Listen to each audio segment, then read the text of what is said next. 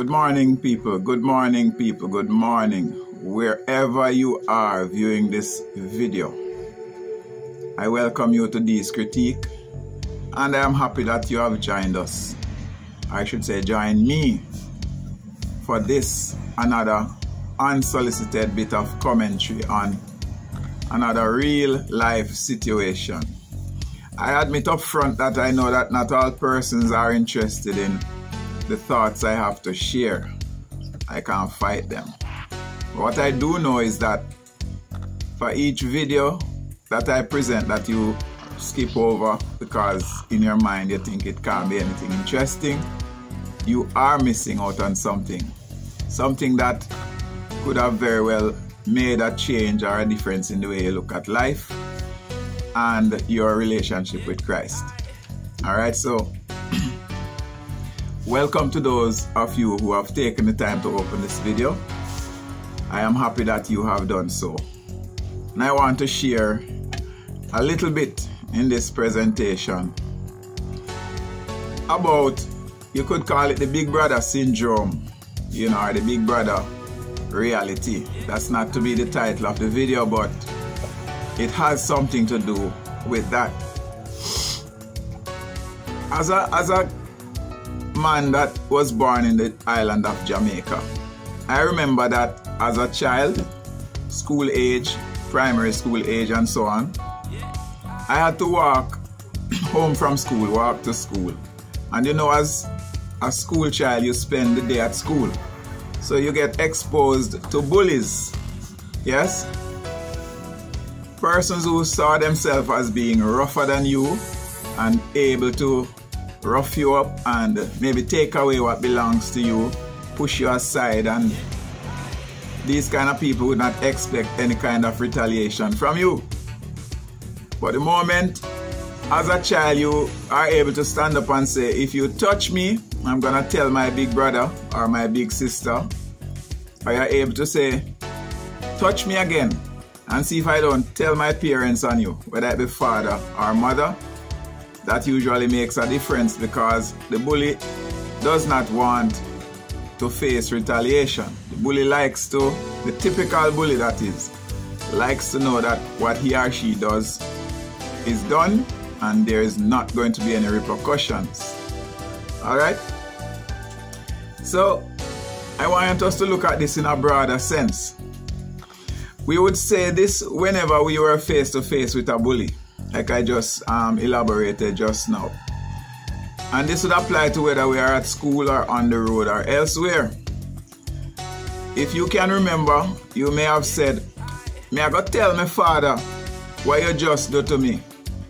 Or touch me and see if me not make my big brother or sister beat you up or mash you down, etc. etc.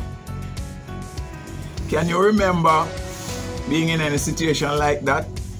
Those of us who grew up in Jamaica. For the rest of the people watching, that's how we did it in Jamaica. First, because the family unit back then was strong and united you know.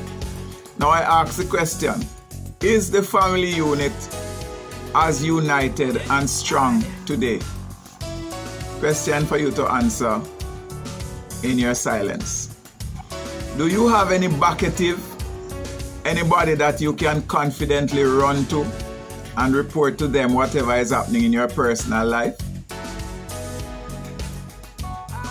If you do, I would say good for you if you have such a person who will come to your defense. Good for you. Now let us open this discussion up to a wider um, sphere now. Transfer that family unity and strength to a broader reality, which is the reality that we are all children within the family of God. Hmm? I might have taken a bit long to get to this, but this is what this video is about. We are all children in the family of God. Right? We all live in a real world where there are bullies. Like the bullies we faced as children while we were growing up. Our bully And this one bully antagonizes every child of God. Our bully is the devil himself, along with his hellish host of operatives. But if we are closely knitted into the fabric of our godly family, we have words for him and his operatives when they come, don't we? We can shout, I am going to tell my big brother on you if you touch me or if you touch me again. We can do that. Now, we may not be aware, but we may not be aware of it, but we all have somebody that we can run to. Yes. And guess what?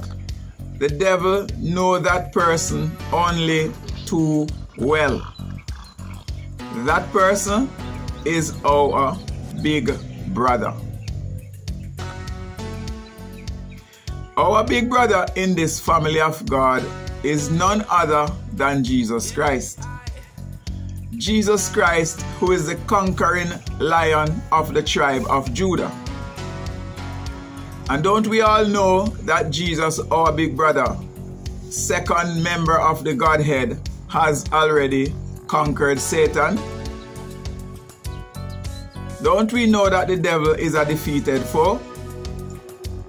Yes, that is the reality we are in. So there is no need to feel afraid of the bully that comes. The devil knows that Christ, the devil knows Christ, and they have an eternal history together in which the devil has been defeated already. Yes, he knows that he is defeated, but he hopes that we are not aware of it. Uh, That's how he's operating. But let me take you even a little further. Whenever we are approached by the hosts of hell, there is something that we can do. We can go to the other person that he is trying to get us to sin against and tell the person what he is attempting to do. And I want you to excuse the example that I'm going to use, but it fits in with me being a male. So, for example, let us say the devil places the temptation in your way to gaze at a particular female because he happens to know your history and your weakness for females where you are a male or your weakness for males where you are a female. I am saying instead of going through and sinning, how about telling the person that he wants you to sin with about your weakness? Let the person know up front. Huh? Tell the person about the devil's attempt to get you to sin with them and ask that person to pray for you about the situation. Of course, I know that calls for real maturity in our world where privacy seems to reign supreme. But if you approach the person, tell them what the reality is and ask them to pray for you and pray about the situation. What can the devil do when he has been exposed? He can't do anything but leave you alone. Amen. Bullies usually back off when they discover that you have a big brother or sibling or a defensive parent to whom you will immediately turn to report what he is attempting to do in your life. Bullies everywhere, including the devil. So there are two things that we can do and really should do. First, tell your big brother about your situation. So you pray to God, talk to Jesus about it. Don't make the mistake of keeping it a secret. That is what the devil wants you to do.